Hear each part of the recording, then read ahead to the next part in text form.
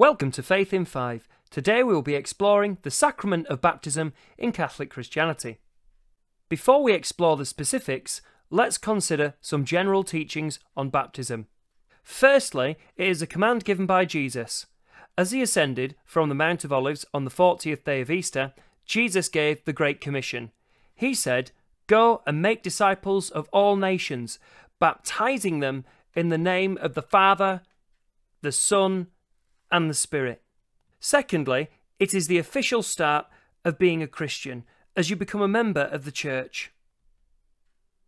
Next, baptism washes away sin.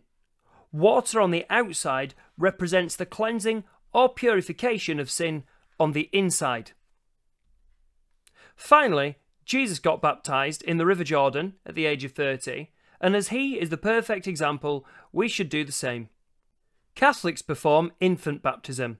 This is to wash away original sin and to give the child a supportive church family as soon as possible.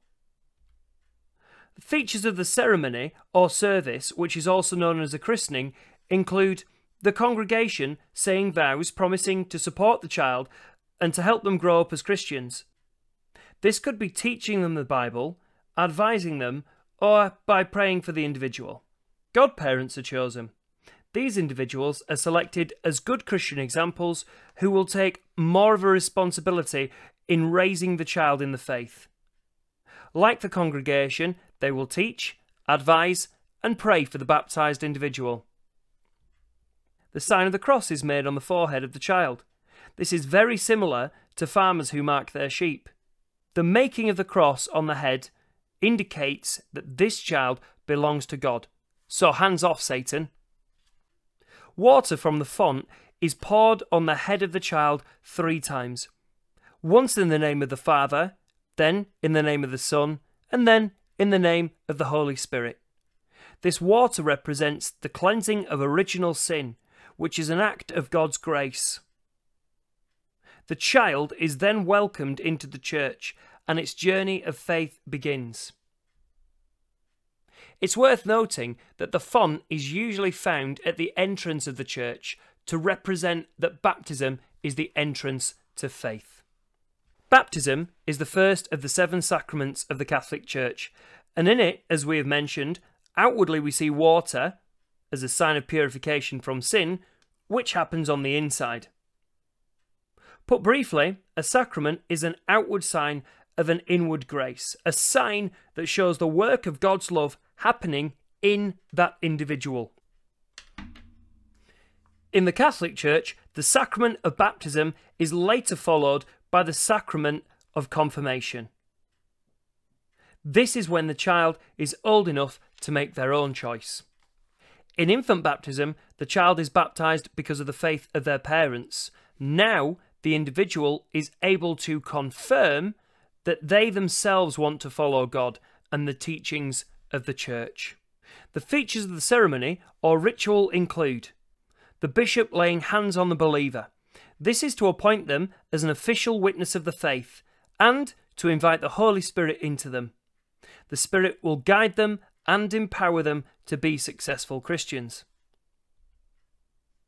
The bishop will anoint their head with oil in the sign of the cross, similar to baptism, to remind them that their lives belong to God. The bishop and congregation will pray that the individual will be given the gifts and develop the fruits of the Spirit. The believer will also take on the name of a saint. As well as being something to aspire to, Catholics believe that there is a living community of saints in heaven. They can pray for us and guide us, and unlike us, they don't need to take a break, so they can pray for us constantly. By taking on that name, you have a patron in heaven. Some examples could be St. Clare, Mary, or St. Francis. When confirmed, the individual has taken ownership of their Christian journey, and as a result of following God's teachings and of being filled with the Spirit, they should demonstrate the fruits of the Spirit, which are love, joy, peace, patience, kindness, goodness, faithfulness, gentleness, and self control. While some Christians disagree with this kind of baptism, Catholics do have supporting evidence.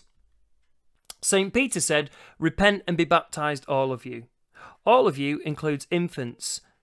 As a saint and as a disciple of Jesus, he is a perfect example to listen to. In the Bible, there are family baptisms, such as St. Peter baptizing the family of the Roman Cornelius. If it happened in the Bible, that shows how we should act today, and a family baptism would have included children. Jesus said, Let the little children come to me. They can come to Jesus spiritually through infant baptism. As it gets rid of original sin, it makes sense to baptize as early as possible. We all have this sin due to being seminally present in Adam, in Eden, when he and Eve sinned.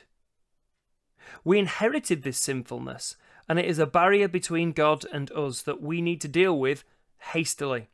To understand this topic further, purchase and read Peter Vardy's Puzzle of Christianity, or follow the QR code to the BBC Religions page for this topic. That was your Faith in Five.